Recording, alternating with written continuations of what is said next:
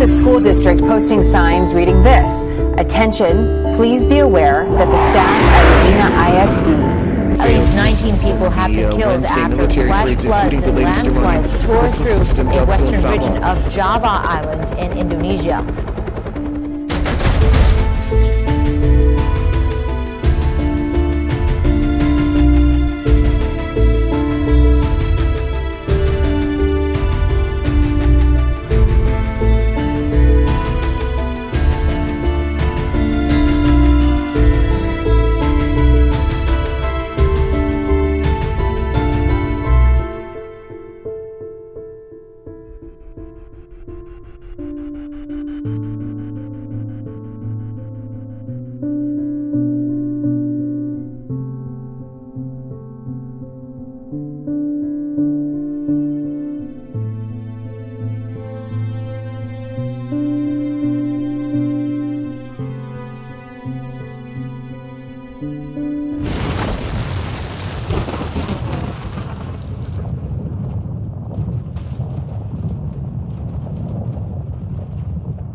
1946, um, you know, uh, second uh, United Nations organization, which was formed, and then nations of the world began to meet together and began to, um, you know, United Nations began to preside over international matters to settle disputes between nations in order to avoid a repeat of uh, the event of the Second World War, which had cost the world 55 million lives. And that was the time at which the atom bomb was at its preliminary, most preliminary stage.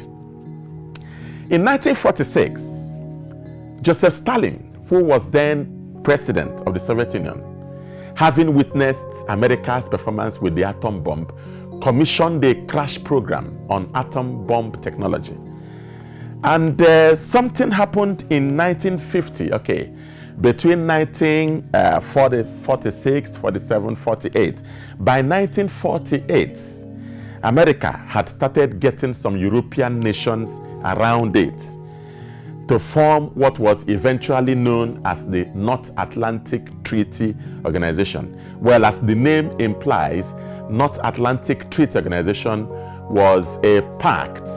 Uh, it was formed by, uh, it was actually formed by a pact called the Treaty of Washington, signed in 1949, and uh, it was aimed at protecting all the nations on the northern side of the Atlantic. And all these nations, uh, nations such as America and Canada, and then some, some uh, European nations, which include Britain, France, um, you, know, um, you know, Germany, much later Norway, uh, Brussels, Netherlands, Denmark, uh, and so on. Now, um, now let me explain a very vital point. At the end of the Second World War, now we are looking at global implications of resource crisis, and then an alignment of nations towards the coming global war. Because you see, where the world stands today is very similar to where the world stood in 1945, at the point where the world was grossly in search of direction. Which way do we go? And from available historical evidence, all the major armed conflicts in the world have been largely economic, more economic than they, than they were political. Political issues hardly have led to war.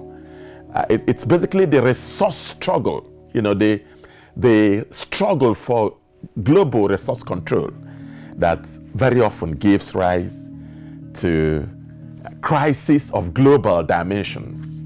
As I'm speaking with you, um, there is a global resource crisis over the uh, sale of crude oil in the world. Crude oil, for instance, was discovered, uh, first discovered in the Persian Gulf uh, in 1931 by America. In fact, it was first discovered in Riyadh, Saudi Arabia in 1931. And Americans flooded Saudi Arabia, explored the oil. And if you notice, between 1931 and 1968, uh, uh, Americans had massive investment in, in, Saudi Arabia, and Saudi Arabians also had massive investment in America. Now, that gives us the background for understanding the war against terror, and in fact, for understanding the circumstances that created terror in the first instance, and then the ongoing war against terror. But when you examine the issues very critically, you will find that the nations that have suffered most critically uh, at, at the hands of terror in the world nations which have worked so hard to create the terrains of terror in the world. And that's the crisis we face. So, let's take a little look at Europe, 1945. And then we'll, we'll take a look at um, how the world stands, you know, uh, you know, uh, presently. Uh, you know, I, was saying that, that the whole world is caught up uh, in severe uh, economic crisis, uh, and, there, and there are obvious indicators of this economic, economic crisis. In, in Nigeria, for instance, um, you know, um, crude oil, because, because crude oil accounts for 85 percent of Nigeria's gross domestic earning, yeah, you know, GDP, gross domestic product. Uh, you know, uh, uh, whatever happens to crude oil in the world affects Nigeria terribly. In 2014, crude oil price reached an all-time mark of $140 per barrel. And Nigeria also reached uh, uh, an all-time high a period of, uh, of gross earning one of the one of the questions we want to ask is what did Nigeria do between 2014 June 2014 when oil reached an all-time mark, all-time price of, of $140 per barrel, and then from from June uh, uh, 2014, and then December 2014, and then January 2015, global oil gluts and uh, if Nigeria had done more effective economic planning, perhaps it would have been able to have a stabilized economic situation um, such that um, you know the collapse of oil price, uh, you know, would not have terribly affected the country as it is doing presently. If you look at the uh, if you look at the 2016 budget in Nigeria, for instance, you will find out that the 2016 budget in Nigeria was predicated at an oil price, crude oil price of uh, $38 per barrel. Uh, uh, uh, and that was because by January 2016, crude oil price had dropped to $50 per barrel, vacillated between uh, between uh, $50 per barrel and $55 per barrel. And uh, it was wise of the government to have predicated oil price at $38 per barrel.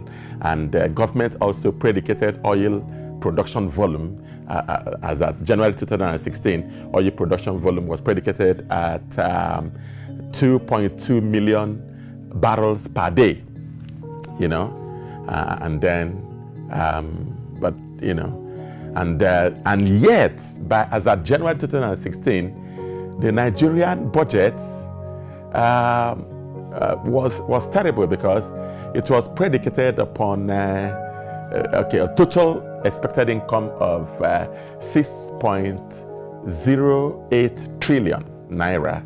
Now, out of this 6.08 trillion naira, the government was, was going to expect three, a whooping sum of 3 trillion naira from borrowing, internal and, and external borrowing. That's, that's amazing. Government was, was expecting to earn in the year 2016 a total income of uh, 3.08 trillion naira. But by, by April, April, May, June uh, 2016, the budget had totally collapsed because, uh, you know, oil production volume had dropped from the uh, predicated position of 2.2 million barrels per day to uh, 1.5 million barrels per day. And then oil price has dropped much further, you know, to an all-time low mark. And because the, the country does not have stabilizing factors in terms of alternative re revenue sources, this country is actually uh, in some serious crisis Um, uh, we hear in the last couple of days, well, shortly after the World Bank IMF meeting in Washington, Nigerian government has been able to broker a sum of 1.3 billion US dollars. Uh, I, I mean, IMF uh, funding or World Bank funding for Nigerian Development Bank. Now that's that's beautiful.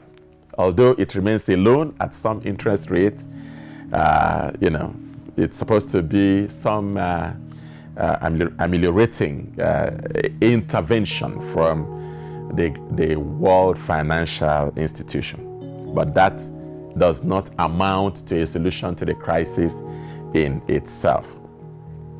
Now, so we're looking at the world as it is in relation to global challenges.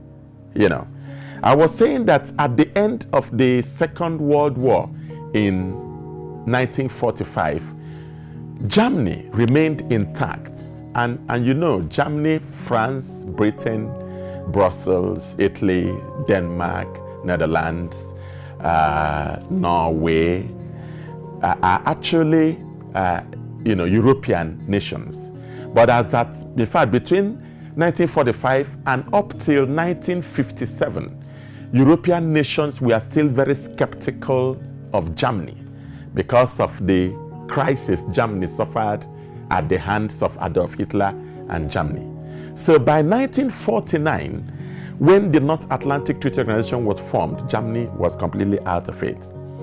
And then, um, you know, then gradually, nations of Europe began to get together to gradually begin to reconstruct their internal operations. We have shown that it was the crisis in Europe and then the struggle for resource control that has led the world into the crisis that it, that it has today.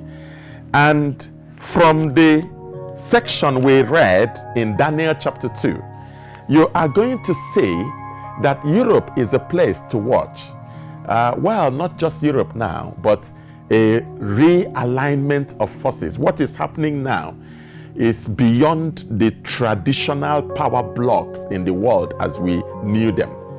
What we are going to begin to witness is a gradual realignment of nations on the basis of resource control, resource affinity, economic affinity, uh, and then pursuit of uh, related economic objectives.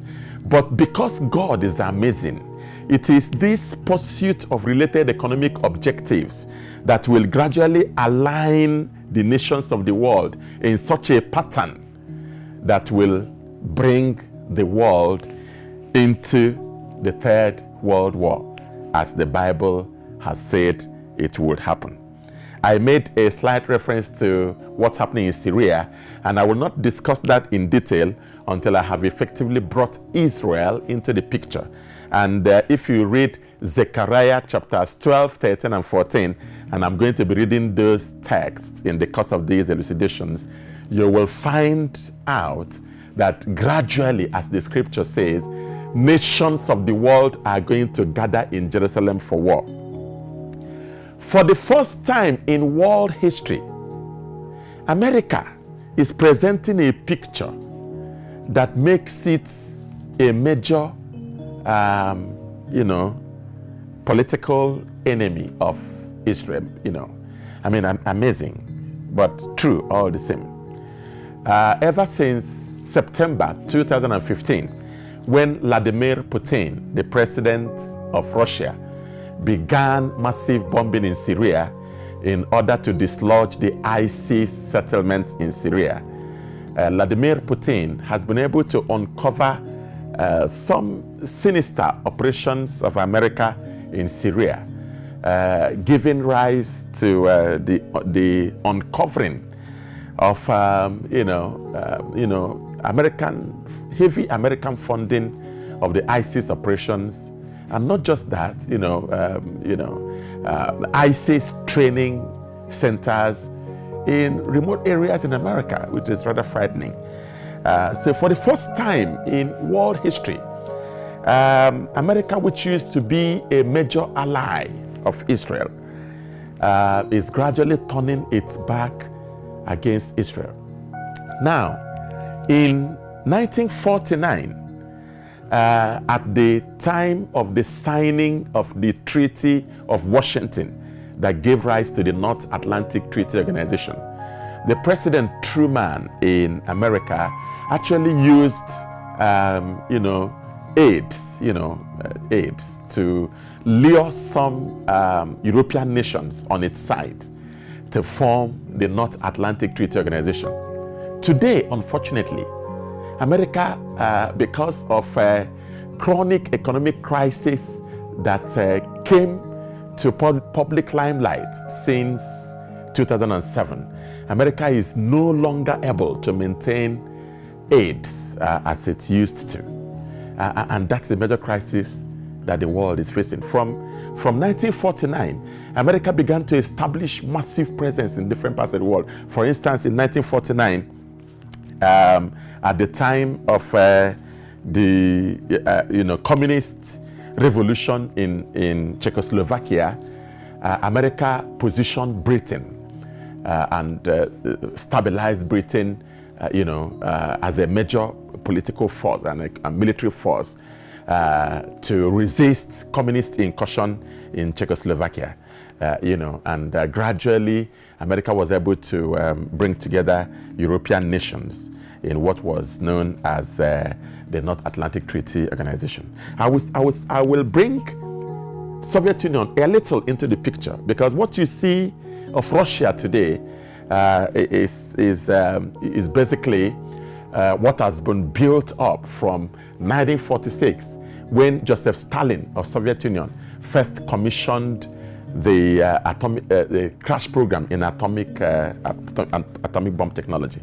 In fact, in 1951, uh, during the crisis in Czechoslovakia, uh, the world was, was surprised that Soviet Union um, came into um, Czechoslovakia and began to use at atomic bomb.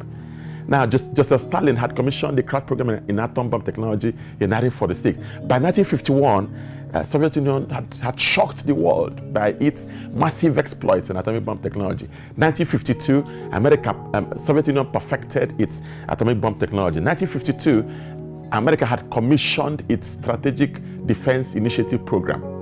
Now, I can say this until I get to the point where I discuss it in, in detail. That one of the remote causes of what we experience today as economic crisis, economic recession in the world, one of the remote causes is the massive investment in arms race from the period of 1945 to the period of 1990 when Soviet Union collapsed. Now, let me explain a point here. Now, when we say Soviet Union collapsed, many people think that Soviet Union collapsed militarily and economically and politically. What happened is far from that. What happened, in fact, was that Soviet Union dismembered. But the member nations that came out from the Soviet enclave were still very powerful nations, and they are still very powerful nations. You know, in the last in the last two weeks, America has threatened to stop Vladimir Putin's bombing in, in uh, Syria and uh, to react to Vladimir Putin's bombing in Syria. And uh, that's, that's in the last two weeks. And uh, leaders of the world are already beginning to see in this a possibility of an alignment of nations on those two sides. Uh, and China has, in fact, the, the, the, you know, made public uh, its intention to uh, take sides with, uh, with, with Russia. Uh, you know, uh, in the crisis in Syria. So it would appear that, that Syria is presenting a platform for nations to get together in what would be a, a, a, global armed crisis that will probably bring this sphere of existence to a close.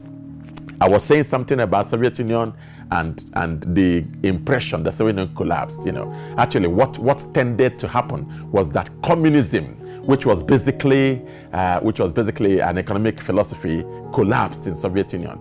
But as at the, as at 1990, when Soviet Union began to dismember, Soviet Union actually had 27,000 nuclear warheads. Out of these 27,000 nuclear warheads, 4,000 were stationed in Russia, 4,000 in Belarus, 4,000 in Ukraine, and about 1,800 in uh, Kazakhstan, which is a small Muslim community in the northern part of Soviet Union. It was Kazakhstan that first declared independence from the Soviet enclave, and then shortly after that, Ukraine and Russia and Belarus also declared independence, but they didn't stop there. They immediately formed a Commonwealth of Independent Nations in order to protect themselves against any external aggression. So Soviet Union did not collapse, actually. The member nations are still very strong. Now, I want to begin to round off on this note, round up this segment on this note. Listen, the point we are making is that uh, the world stands right now at the point it stood about 1945 when the world was in such a direction, a, a time when there was a global jostling for resource control. And this kind of global jostling for resource control usually has two effects. Number one, it produces the emergence of a global despot, a global tyrannical leader that will gradually, you know, um, you know, seize the emergence by force, seize the allegiance by force of all nations of the world, and bring everyone to submission. Let me round off this segment by making a reference to what Dr. Henry Sparks said, the Secretary General of the North Atlantic Treaty Organization in the 1980s. He said, What we need is a man of sufficient stature to hold our allegiance together and to bring us out of the economic morass in which we've been steeped. And he said, Give us such a man, whether he be God or the devil, we shall receive him. Second Thessalonians chapter 2 tells us in detail about the setting of the world that will pave way for the emergence of the Antichrist, that will seize government upon the earth and bring all nations together unto a timely submission unto a tyranny of a government that is other than God's government. When the Antichrist takes over the world, before that time, the saints of God would have been raptured to heaven. I want to ask you a question. If you die and go to hell, will you say that nobody warned you about the, the eternal significance of what's happening right now, about the, the well being of your soul? Listen to me. We are what, what we are seeing in the world is indicating that the, this this fair of existence is coming to a close because the jostling of nations will eventually lead to war and this fair of existence will come to a close. Where will you spend eternity my friend? Close your eyes for a word of prayer. Precious father we give you praise. Awesome god we glorify you Mighty King, you are our rock and our strength and our dwelling place. Thank you for your word that has gone forth. Your word says that when your word has gone forth, it will not come back void, except it first fulfills the purpose for which you sent it forth. Oh God, my Father, I decree that nobody who has heard your word this day will will perish, O God.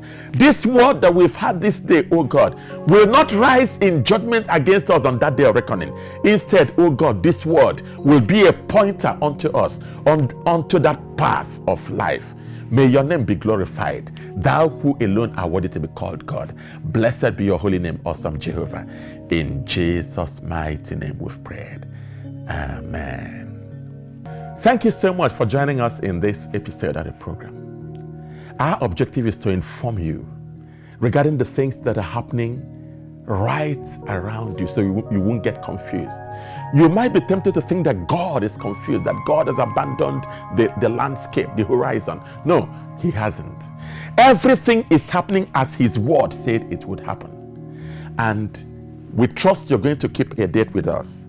We have many books on end time issues, but this is the one you need to have. Imagine World Ruler and the Great War. In this book, we have shared issues on the end time as it affects the global alignment of nations, global economic crisis, economic meltdown, and issues that border on contemporary developments all over the world. God bless you, my friend, for being part of this program. Thank you so much.